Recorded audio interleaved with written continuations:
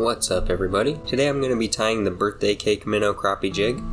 So for this jig I'm using a 1 16th ounce jig head powder painted with Disco Gold Pro-Tec and it has a size 4 sickle hook. For the thread I'm just going to be using a white uni thread. This is a 6-aught thread. Just going to start that behind the head and wind it down to the point of the hook. For the tail I'm going to be using a single cream marabou feather this has a nice cake dough color that'll work well with this jig. So I'm just going to run my fingers up to the tips of the feather from the base there. And then we're going to measure it out, make sure that the length of the tail is going to be about the length of the hook shank. We're just going to pinch that feather right there at the point of the hook and tie it down. Make sure you get about five good turns before you let go of the tail end. And then you can wind it up the rest of the way.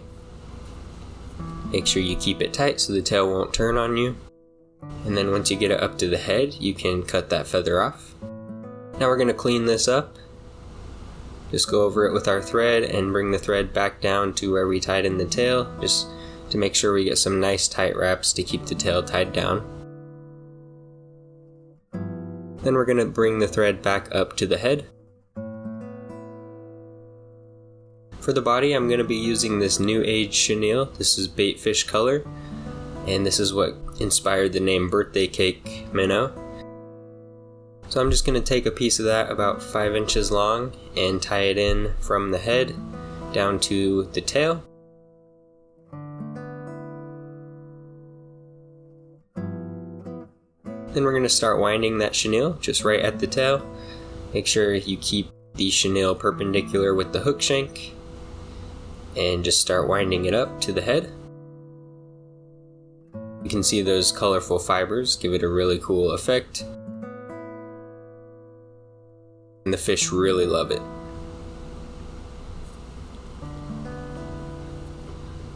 Alright, be careful with that chenille, putting it under the thread. And now we're going to tie it down.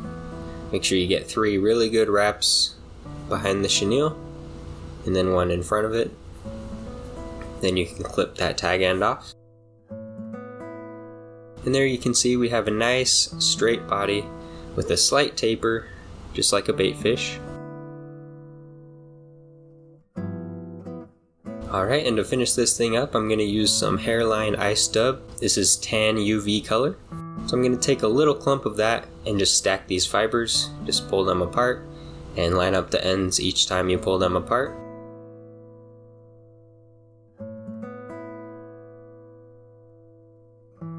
Just want to keep doing that until they're kind of difficult to pull apart, just like that. And now we're going to pull them apart uh, lengthwise like this. And we're going to flip them sideways and hold them right on top of the jig with just enough pressure to keep them held down. Go around the whole thing with our thread and then pinch it down and you should have a nice layer of ice dub surrounding the entire jig. Just like that. So now we're going to pull all these fibers back and go over that with our thread. Do it again. Make sure you have a few turns of thread in front of the ice dub to make sure those fibers stay back. And then you can pull those fibers to pull out any of the loose ice dub fibers that want to come out.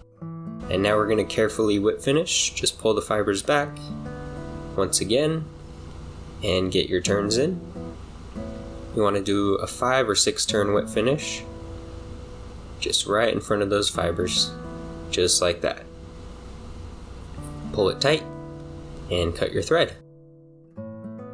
So that's it. It looks kind of buggy and crazy right now. This is what it looks like dry. Um, it's not as impressive as when it's wet, so let me get it wet real quick and show you what it looks like.